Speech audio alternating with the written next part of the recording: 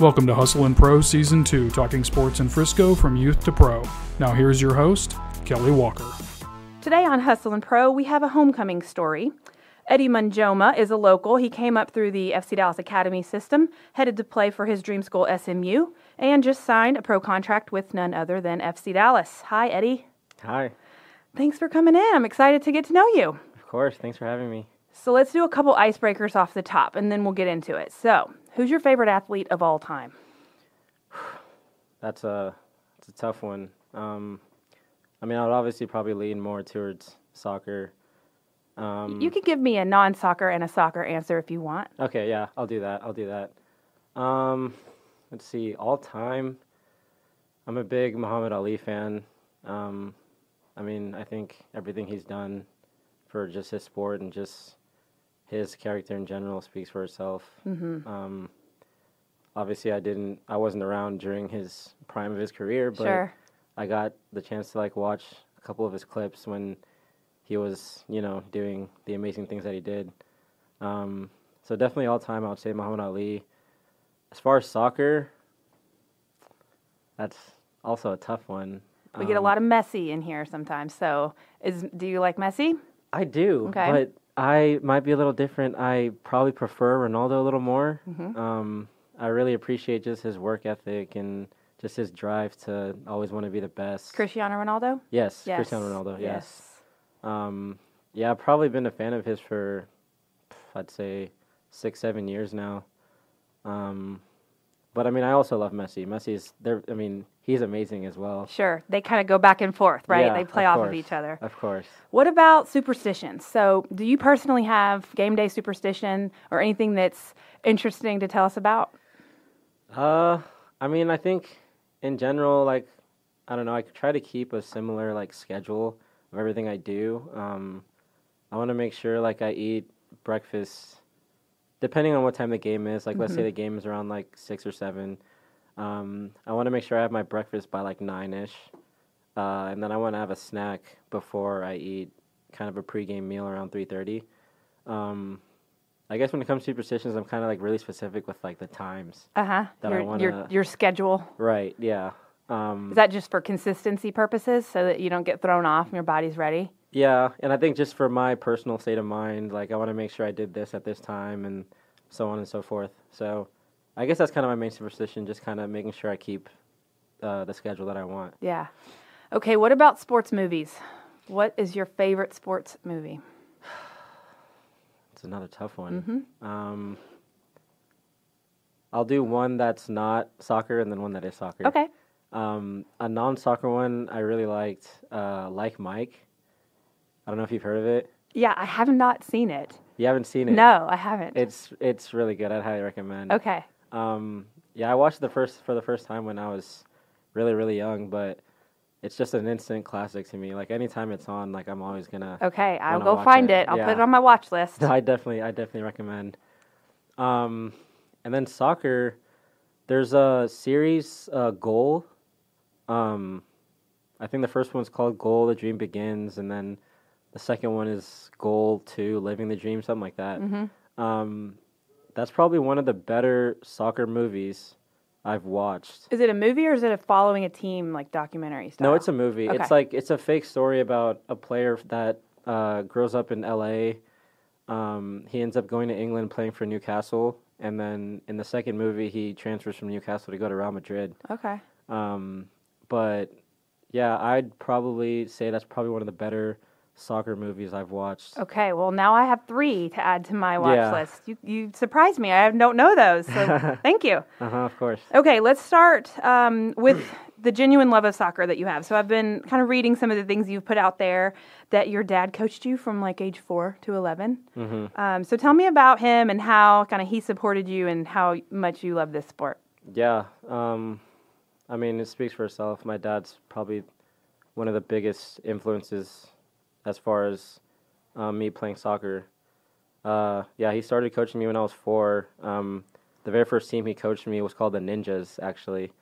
Uh, we were pretty, I mean, it was just a local team in McKinney. We were kind of just messing around as we were classmates in school and then also just formed a team outside to play in like the local um, like recreational league. Um, but yeah, he coached me. He was obviously the first one to introduce me to the game. Um, he has a background of playing as well. Um, so I mean, he's obviously been super hard on me, um, which has at times been you know kind of annoying, kind of frustrating. But at the same time, it's obviously helped me to get to the point I am now. right, So you need it at the same time. Did he grow up playing? So you you were born in McKinney and you grew up around here, right? I was born in Dallas. Oh, Dallas. Um, but yeah, I did grow up in McKinney. Okay, I moved to Dallas probably when I was three years old. Did your dad play around this area? No, my dad's actually of African descent. Okay. Um, he played in Zimbabwe, which is um, also my home country. Um, and he actually played with like the U17 national team, U18 national Wow. team. So like he has, you know, that background Yeah. of playing at a high level. You followed in his footsteps. Yeah, for sure. That's amazing. Okay, so you earned a spot at SMU. So I've Mm-hmm. I've heard or I've read your letter to SMU, and that's awesome. I love how much you have the passion about being there. Um, and you just finished up there. Yes, not all that long ago. Yes. So you had four successful years there, right? Yes. So one of the things that so I read that you were All American First College Soccer News in just 2019, like that's just yesterday. Um, but then you won the Hermann. Okay, Mac Hermann, is that right? Yes, Mac it right? Hermann, yes. 2019 Mac Hermann. You were a semifinalist. Yes. Okay, so none other than Luchi Gonzalez, your now head coach, won that back in 2001. Mm-hmm. Yeah. So that's pretty cool. Uh-huh. Um, have you gotten to talk to Luchi about that? Uh, no, I actually haven't. I actually haven't. But I mean, once I got the, uh, once I got, or once I found out that I was uh, Hermann semifinalist, it was definitely one of the things I thought about. Um, just the last person to actually win the Hermann was at SMU as well, and um, I don't know during like during the way the season was going for us at the time, like I wasn't really thinking about, um, am I going to win the Hermann? I was just more focused on us doing well and obviously trying to achieve our goal of winning the national championship. So I wasn't really thinking much about um, am I actually going to win this thing. But I mean, it is pretty cool that the last person who won it was Luchi. And yeah. I mean, now It's he's very cool. coach, and now so- he's yeah, that's really I think that's so neat. It's part of that whole homecoming story that I love. Mhm. So I hear there's this Sweet 16 overtime moment that you talk about. So Yeah. tell me about that. Oh boy, that I mean, I get I've I've been asked to tell that story a lot, and Well, hold on. I said overtime. I know it's really Uh-huh. stoppage time, and I don't Yeah. know. I, I don't know Well, what you call it it, in, so- in college level soccer. the thing is, yeah, with college there is like that overtime Okay, when it's- a game is tied. okay, I didn't Um, want you to think I didn't. I didn't know what that means. So No, no, sorry. Go ahead. You're good. Yeah, uh, it was crazy. Um, we played against uh, we played against UCF, who for the past three seasons were probably one of our biggest rivals um, domestically in our conference. They always gave us a good fight, and that was always a game that we would always circle on our calendar um, when the schedule came out. So credit to them; they were an amazing team. Um, their coach did a very good job with them, and they always gave us a very very good battle. Um, it was questionable how we got paired against each other in the Sweet 16 to begin with, um, just of the way the seeding worked and how NCAA put us against each other. Like you shouldn't have been again, seeing each other that early. Yeah, Yeah. I really don't think so, but I mean, it is is what know, it is. Um, but yeah, the game was tied. They actually scored first. It was Cal Jennings uh, who scored on us in the first few minutes or so, and then we answered back. It was one-one at halftime, and then it was one-one all the way up until the the 90th minute. Um, it was a lot of back and forth, and I mean, we're both both us and UCF were both teams that like to play, like to keep possession and stuff. So it was a really good soccer game. Um, But tied one-one at the end of regulation. Yes, tied one one. Uh, so then we come in overtime, and I'm thinking like the game right before UCF, we also went to overtime, um, and we stayed in. We did like both um, both halves of overtime in that game previous. So I was thinking, here goes like another Yeah. set of 20 minutes Right. or so. Um, but I mean, I was confident we were gonna win, whether it was me who scored or whoever. Like I was pretty confident in how we were playing that we were gonna win that game. We're at home. We're in front of our fans um, I felt like this is this is our moment. Um, but yeah, it was it took a matter of I think it was 18 seconds. Oh wow, that's how. Okay, Yeah. and and Yeah, I mean you scored. I scored. Yeah, I scored. Uh, one of the center mids played me a ball in, and I kind of just ran onto it and shot it far post. And in college, like the rules work, like as soon as someone scores in overtime, the game's over. It's over. It's, It's, like, like, golden goal. Yeah. Okay. So I mean, yeah, the celebrations afterwards were crazy. Oh, I bet. um, so, but you're a defender, yeah? yes. So, is it common? Like, are you the kind of player that's going to go run up and? I mean, I don't know if you. I don't think by looking at you, are you the tallest Right. one on the field, and that's your role, or are you Right. just? Is that your nature? Is that you're going to be playing up in a moment like that? Um, I think for me personally, I think other people in my position probably don't have the same uh, the same attacking mindset that I have. Okay. Um, I grew up like during the time my dad was coaching me when I was younger. I was an attacking player, like I was a winger, I was a striker. So I grew up already attack minded. Um, I came into FC Dallas in the academy, and they kind of transformed me into an outside back Okay. but I still kind of had that attacking mindset.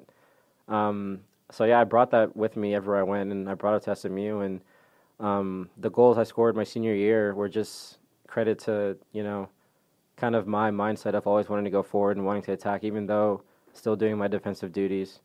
Um, I love that. As an FC Dallas fan, I'm excited to hear that. That's fun. It's always fun. I mean, obviously, in an you know extra time win, Mm-hmm. but it's it's unexpected when a defender gets to come up and do that. Yeah. Like we've seen Ryan Hollingshead get to do that Of a few course, times, of and course, it's always just a fun you know twist. So I'm excited to get to see more of that attacking nature in our back line back thank there. you, thank you. I am too. All right, so tell me what um, hashtag FCHW means to you. That is something that. Well, first of all, I think it might be some type of like brand or something like that. I'm really not sure. I think it's sure. a thing out there, but yeah. Yeah, but that's just something uh, I really like to live by. Um, I'm really, I'm really close with my faith. Um, that's something that I value a lot, and I think it's very important. And I just think it's, it's something that has again brought me to where I am um, now. Just kind of plugging into that, um, and then consistency is something that I always want to achieve. I think it's something that um, if I can be more consistent, it's not just in soccer, but all areas of life, um, just consistent to who I am. I think it's obviously something that'll help me be successful. Um, and then hard work. I mean, that just speaks for itself. You can't get anywhere without working hard, and um, obviously that's something that I'm obviously in a position that I am now because of a bunch of hard work. Yeah. So It's a good daily reminder, or Mm-hmm. however you know you use that. But I I'm not familiar with it, so I Mm-hmm. see you tweeting it, and I love that FCHW. yeah, I think that's cool. Okay, so your path has you know we've seen it come full circle now. Um, you were the 27th homegrown to sign with FC Dallas, and Mm-hmm. the 37th academy player from FC Dallas to go pro in Mm-hmm. general. So Dan Hunt says that you are part of this special generation of players that really, you know, in that 17 to 23 year old kind of range, Mm-hmm. that was kind of born out of this first round of academy players. So, how do you describe this system that you are one of the at the forefront of? I mean, are you speaking like just from FC Dallas standpoint? or- Yeah, I mean, really, how it's shaped, even you know, as you went into college and back. But I mean, Yeah. you're you're one of the the few um, that is that we've seen follow that path. Mm-hmm. Um, so I just, you know, from your standpoint, how do you see this development in an academy league? Um, well, I think the Academy League is always something that I think any player, um, kind of going up through middle school, high school, I think that's something that players who want or have those aspirations of being professional, I think that's something that they really consider and they really want to um, achieve.